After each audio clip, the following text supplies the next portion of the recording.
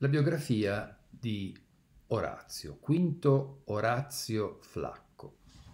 Nasce nel 65 a Venosa, che è una località della, della Basi, dell'attuale Basilicata. Il padre era un liberto e ehm, la sua famiglia era di condizione modesta, però possiede una piccola proprietà a Venosa. E eh, il padre mh, vuole che Orazio abbia una, una buona educazione e quindi eh, da questo punto di vista mh, fa un, un, percorso di studi eh, regolare e anche frequenta eh, delle ottime scuole. Tant'è vero che eh, ad un certo punto il padre si trasferisce a Roma perché una, un posto, lavora nel, come esattore nelle vendite all'asta e permetterà a suo figlio di frequentare la scuola di Orbilio, un illustre maestro dell'epoca, che eh, lo stesso Orazio definisce plagosus, perché i sistemi scolastici all'epoca erano un po' diversi da quelli di oggi e questo maestro di scuola questo insegnante bacchettava con, con, la verga, con la bacchetta, i propri studenti. E quindi ecco lo chiama plagosus perché appunto provocava delle ferite, delle piaghe nei suoi allievi. Bene, ehm, va a studiare, va ad approfondire i suoi studi anche in Grecia. Era una, un'abitudine dei, dei, dei romani delle migliori famiglie, eh, ma eh, anche, anche, il padre di Orazio permette al figlio di andare a completare i suoi studi in Grecia e in particolare va ad Atene dove approfondisce gli studi filosofici. Siamo più o meno attorno al 45 a.C. Ma eh, quando è eh, in Grecia, ad Atene, viene mh, coinvolto eh, dagli, dagli, ideali politici dei, ehm, de, dell'esercito di Bruto, cioè sono dai cosiddetti cesaricidi, dai cosiddetti repubblicani. Gli ideali che promuovevano ideali di, di libertas, gli ideali dell'antica Repubblica Romana da contrapporre insomma, alla, eh, ovviamente a, a, chi in qualche modo si temeva volesse in qualche modo tradire questa, questi, questi ideali repubblicani. Quindi è nemico di, di Augusto, nemico di Marco Antonio. Infatti lui si arruola nell'esercito di, di Bruto e ehm, che si stava organizzando proprio in Grecia per affrontare lo scontro finale con eh, Ottaviano e con Marcantonio. Infatti nel 42 c'è la famosa battaglia di Filippi alla quale lo stesso Orazio partecipa ed è dalla parte sbagliata, nel senso che è dalla parte degli sconfitti. E lui ci racconta è anche piuttosto auto, autoironico Orazio nel nelle sue poesie, insomma, è, dice che è fuggito ad un certo punto, ha abbandonato vigliaccamente, diciamo così, lo scudo.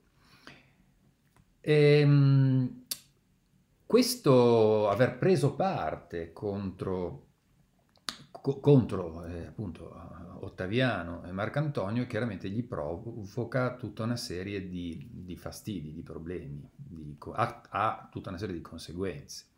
Infatti nel 41 gli viene permesso di tornare a Roma grazie ad un'amnistia, però perde ad esempio il suo fondo di Venosa, la sua proprietà, e quindi eh, lavora come scriba a Roma come, come scriva, come scrivano, come impiegato.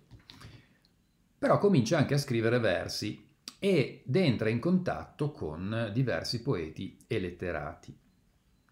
In particolare nel 38 ehm, lo stesso Virgilio e, e Vario lo presentano a Mecenate e l'anno successivo entra nel famoso circolo di mecenate.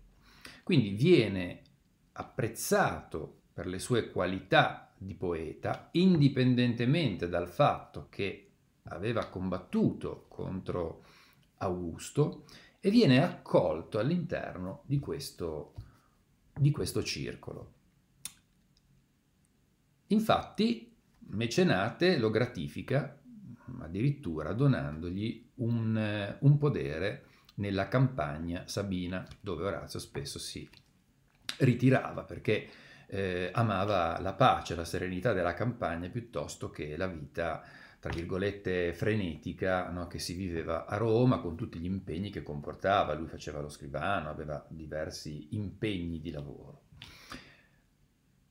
Bene, nel eh, 33 pubblica il primo libro delle satire. Aveva già pubblicato Gli Epodi, la sua prima opera, e, e, grazie infatti ai primi componimenti era stato conosciuto e riconosciuto un, un valido poeta da, da, mecenate.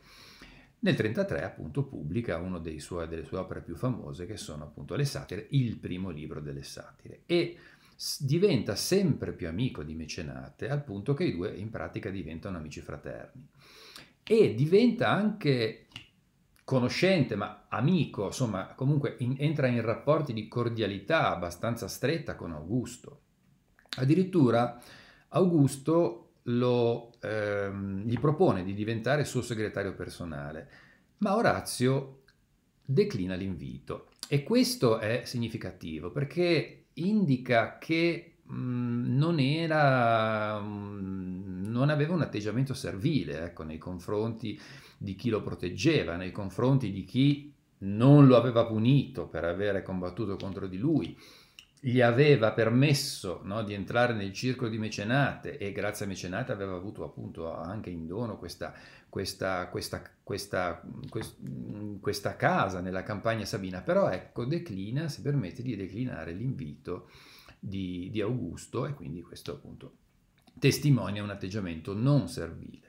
Poi vedremo chiaramente che eh, Orazio per molti aspetti condivide, almeno in parte, la, la, l'ideologia eh, di Augusto eh, e quindi partecipa anche lui in qualche modo a questa propaganda no, di determinati ideali, però in linea di massima ecco, insomma, eh, non si dimostra servile.